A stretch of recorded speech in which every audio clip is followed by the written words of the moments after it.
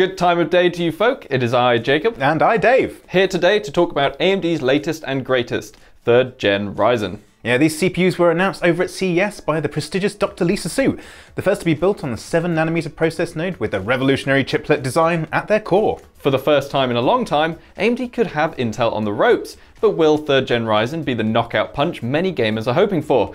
Let's take a look at what we can expect. Now, before we continue, let's get one thing straight. It's either 3rd Gen Ryzen, Ryzen 3000 series, the Matisse codename, or maybe, maybe Ryzen 3K, because it kind of sounds cool. It's definitely not Ryzen 3. Never. Never. Never. Nope. Now, we've already got one of those, and they're the budget chips. Uh, okay, alright. The rage is subsiding, on with the show. Dr. Lisa Su, AMD's esteemed CEO, officially announced the third generation Ryzen processors will be landing on shelves in the middle of this year. Previous leaked slides denote that the Taiwanese Computex Tech Show that runs from May 28th to June 1st will be when motherboard manufacturers should get X570 motherboards out the door. So you'd hope some CPUs might be announced at the big show too. We also have good reason to believe that AMD will be launching new products over at Computex. We have our ways of getting information out of people. yes, we have our ways. So what do we know about Zen 2 and the 3rd gen Ryzen?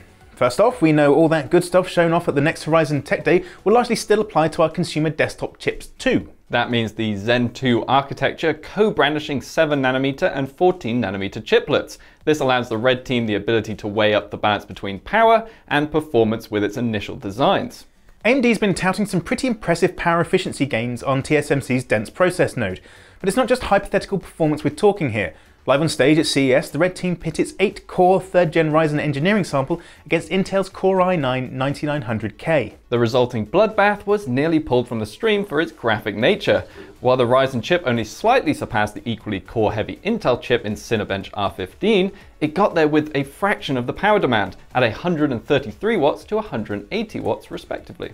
Promising stuff, and when it comes down to actual processing performance, AMD has that seemingly sorted too. Each tiny 7nm chiplet is packed with up to 8 individual cores.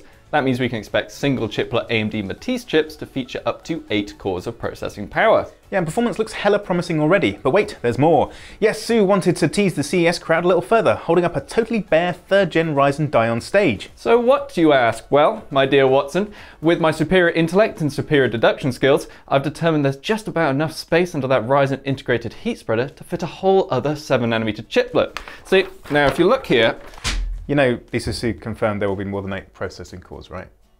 Like, she'd already said that. Despite only having an engineering sample to hand, AMD proved the Zen 2 design is capable of taking on the very best from Intel's lineup, the 9th gen Core i9 9900K. Matching core for core, AMD's 3rd gen Ryzen sample managed to slightly surpass Intel's 9900K in Cinebench R15, scoring 2057 to the i9 2040, all the while sucking 47 watts less from the outlet. But how did AMD do it? Of course, the 7nm process had its part to play in all that power efficiency and performance, but some of the performance catch-up on AMD's part is down to changes in the front end.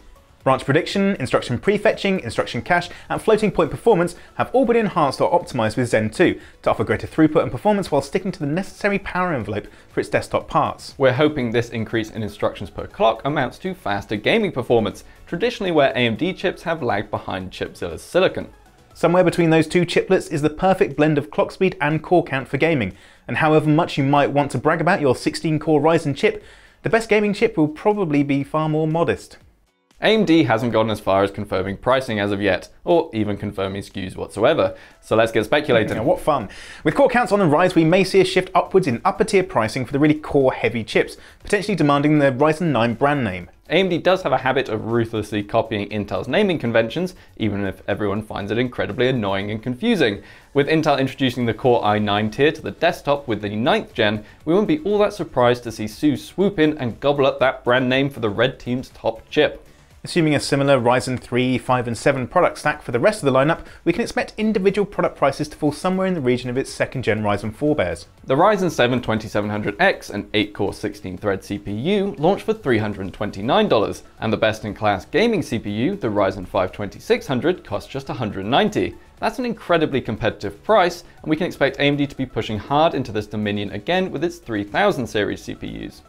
Yet Intel set the precedent with its $579 9900K.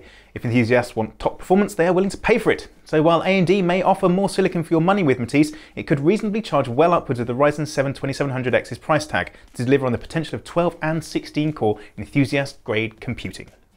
Exciting, no? With AMD expected to drop 3rd gen Ryzen May June time, further leaks, benchmarks, and price points are sure to start appearing across the web.